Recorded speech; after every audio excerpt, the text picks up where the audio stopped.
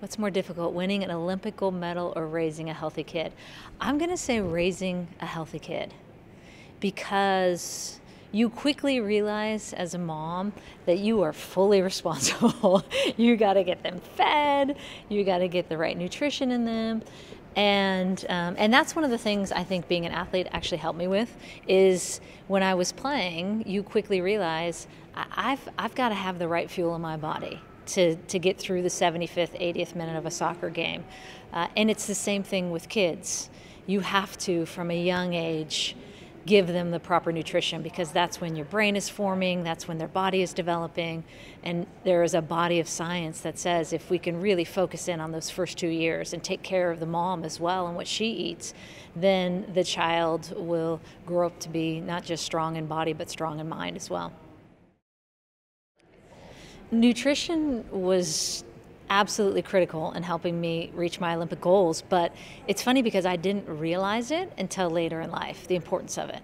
And um, and it's one of the reasons why I love what Thousand Days is doing is because you're making people aware of the importance of it. What you put in your body absolutely matters.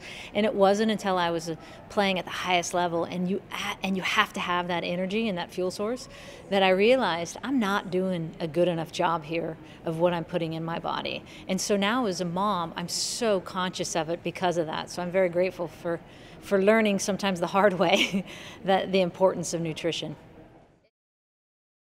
Uh, as a mom, I encourage healthy eating for my kids uh, by simply setting a good example. I think that's the, the most important thing, right? What you eat, they're going to eat, and they're going to nibble, and they're going to try. So if you're constantly uh, eating French fries or fried foods, or I mean, I, and I, am not saying cut that out entirely, but you have to be conscious about well-rounded, nutritional, getting all your food groups in, getting the right nutrients in, because kids see that, and they see that from a very young age when you don't even realize it. My perspective on health and nutrition absolutely changed when I became a mom because then it's not just yourself and especially breastfeeding, right? I, I, I, realized what I put in my body immediately affected my child. And both my daughter Izzy and my son Declan, I mean, they would react immediately. And I mean, that's the first form of recognition like, wow, it matters, right? It's going to them.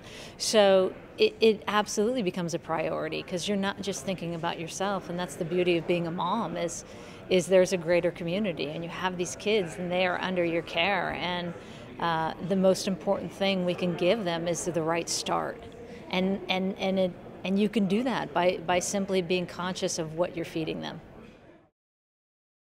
I think the key ingredients to nourishing the next generation are making people aware that we need to do a better job of this.